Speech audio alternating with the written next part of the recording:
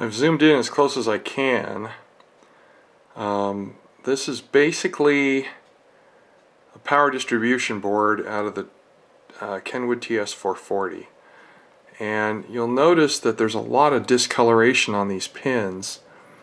Uh, if I move this camera around I'll probably lose the focus but I think that you might even be able to see some pitting on these pins along with the discoloration. It's kind of a bluish color so that implies they've gotten awfully hot so um, there's two pins back here and these three pins here in the front and they all have the same problem. They're discolored and uh, maybe even pitted in a couple cases. So I don't think that is the source of my current trouble. This unit came to me with a whole lot of problems.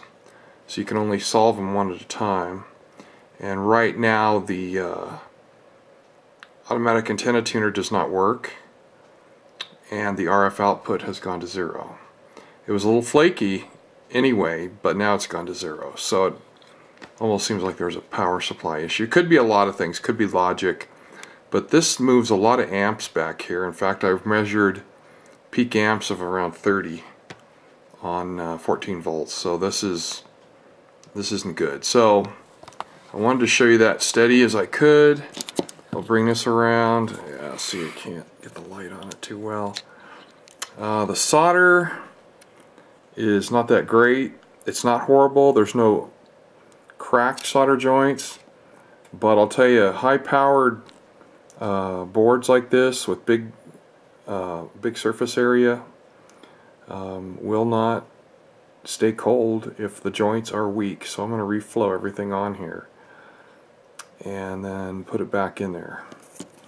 Uh, the problem with these male pins is their female counterparts are probably darkened as well. I don't know that there's much I can do about it. So um, I'll try to clean these up with alcohol. In fact, let's see if we can do that live. Maybe not a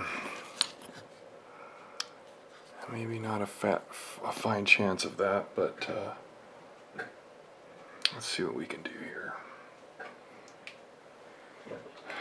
Take some acetone.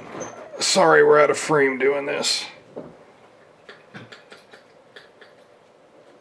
Okay, so here's here's some acetone.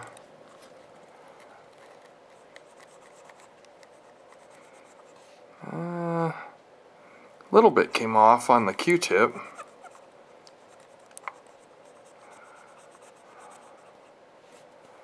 See that? That might not be all bad news.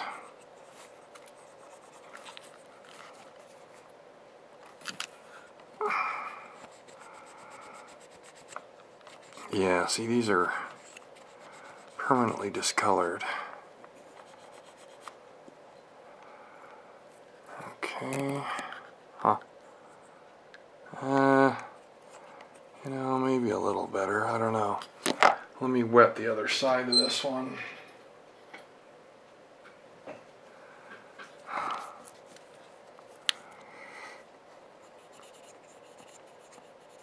Yeah, there's a little something coming off. I don't want to take sandpaper to them because polished surfaces will conduct power at a lower resistance than roughed ones.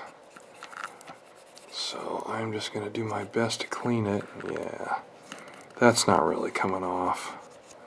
I mean, a little something came off, but... Okay, let's get this one in the back. This one in the back. You'll see some orange stuff that was on there from the factory to help you. Make sure you put the right, the connector on the right way, because this is all high-powered DC. So you don't want to wipe that off if you can help it. Well, alright, so that's not to make things much better. Alright, uh, we'll leave it for right now. Um, the next thing we're to do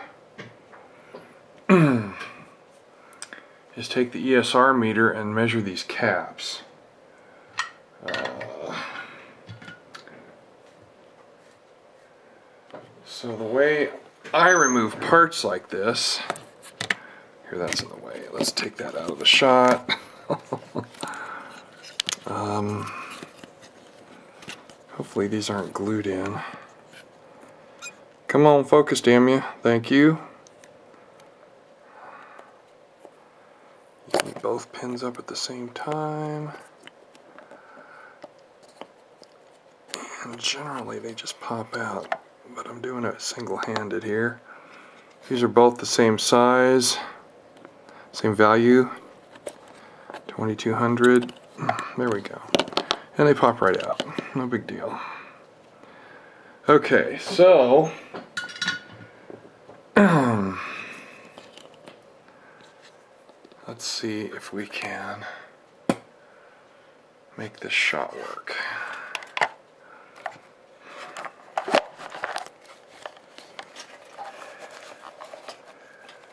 Now, we got to short these guys, clip them together, Okay, something's not tight here. This usually works really well. Maybe it doesn't like being laid on its side. Hmm. That's wild, because it never usually does that. Oh, wait, maybe it's picking up a little noise from the camera. Stand by, please. Um,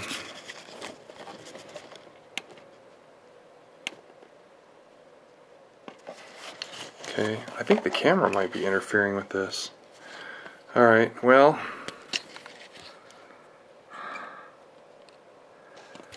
Alright, let's put this out here so you can possibly read it. And then we attach it in any order because this is using AC. So 0.04 on our bottom scale way down here, hardly in the shot, says, I guess it implies it's a little on the low side, but less resistance is better than higher resistance. These I've discharged long before I pulled them out. Okay. Uh, so that doesn't strike me as a problem. Um, my meters don't have enough uh, capacitance to measure these values, 2200 microfarads, so the ESR meter is all I've got. But uh, anyway, um, that is just something I wanted to check to make sure something stupid wasn't going on. And then what we'll do is we will take and put these out of the shot. Take and suck up this uh, solder here and we will make um, these holes ready for I don't usually do this I usually just put them back in the hole and push and, uh, and, it, and heat them and it flows all together real nice but we're gonna do it way most people do this. Oh, see the huge ground plane's hard to heat. There we go. Okay. Stand by. Okay. Alright, let's see if that worked. now, um, I'm going to interrupt our soldering nirvana. No, I'm not. Here's what we're going to do. I'm going to put these guys back in. It looks like they got plus signs on the board. That makes it a little harder to put in, in incorrectly. Let's see. These pins may not be... That one went in. They may not be um, clean enough, but it looks like they're snapping in just fine. This is more exploratory to find out kind of what's going on. Um, it seems to me it's a power problem. It might be logic, but I'm going with what I know um, right now. Okay, so the only thing we're going to do here is we're going to change tips to something a lot more monstrous and shooting around a microscope and a camera is a pain in the butt. Okay, so you gotta push it down tight, let it harden.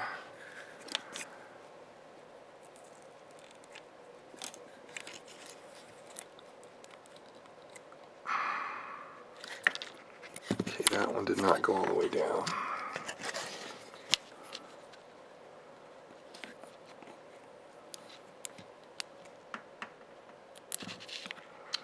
Okay, nice. Alright. This one will flow a little easier. This one will flow a little easier because the pad that they go through is a lot smaller. Okay, let's build up a little bit more solder. There we go. Okay, so I'm not going to bore the daylights out of everybody like I already have. and I'll reflow all these, but you can see we've tested it with the ESR meter and they're okay. There's no blown traces on here. Um, and there's no severely fractured pads. There are crystalline, there is crystalline solder on here and that's not good, but um, the only thing that bothers me is these discolored pins. It's the only thing I don't like.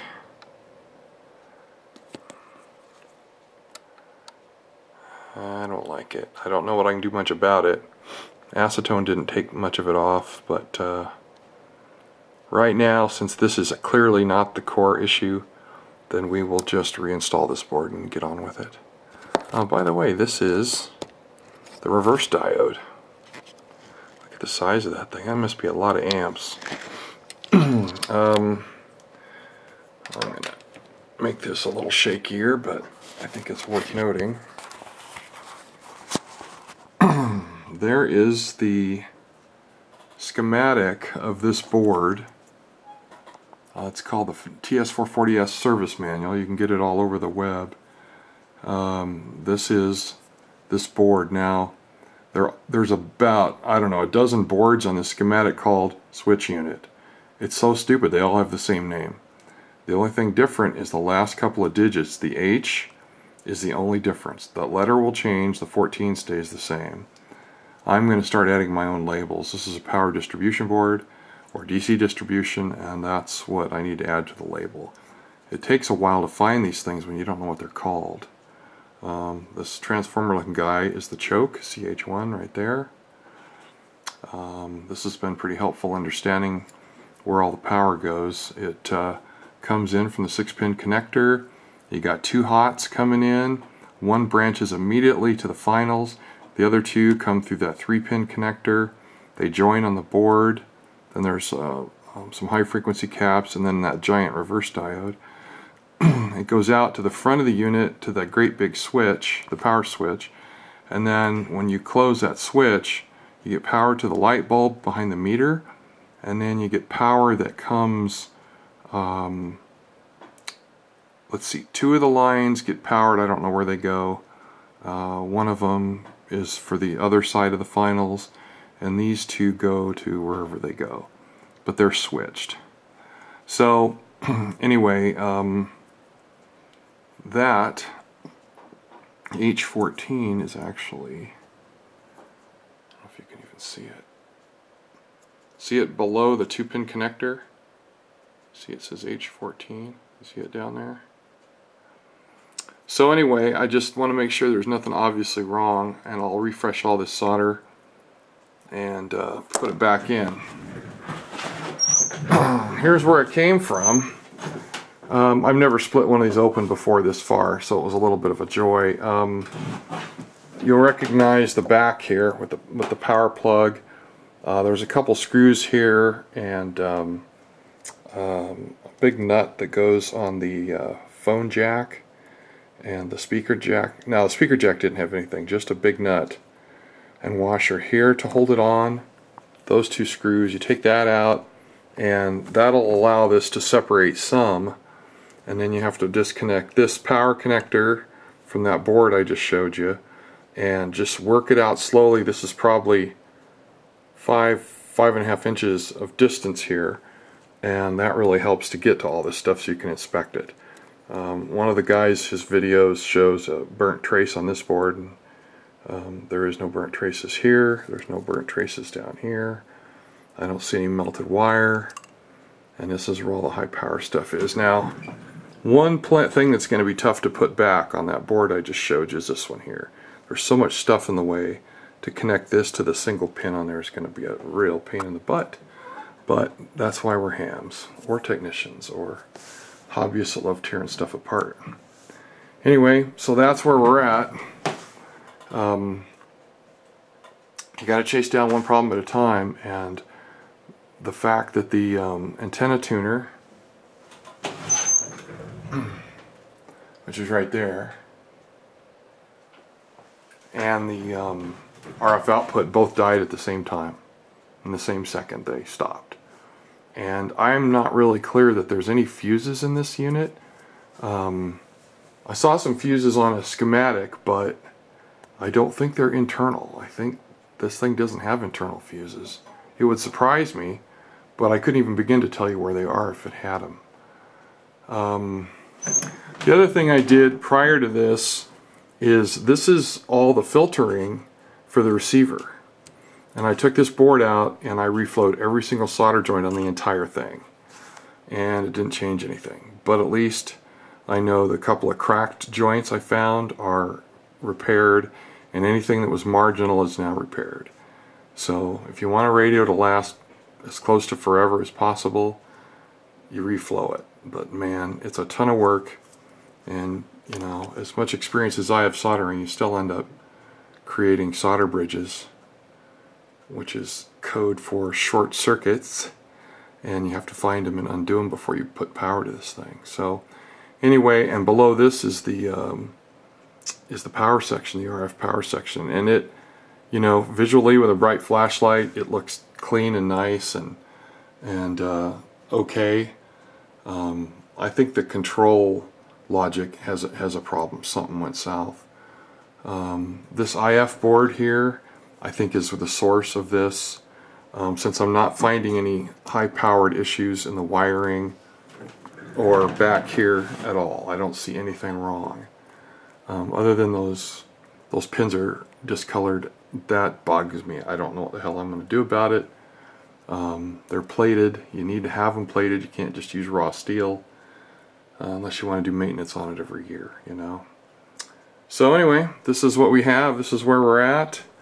Um, sorry to to take so long. I thought some of this stuff should be shown um, because it's hard to do if you've never done it before. And uh, getting this apart, I probably could have filmed it, but man, it's just it's just too much work. It's either get the radio done or shoot the video. So sometimes I just got to get the radio done. So this is as soon as I get this reassembled, I'll put this all back and then change my tact um, after I do some more studying on the schematics and um, and maybe a form or two. All right, appreciate your time. Thanks. See you. Bye.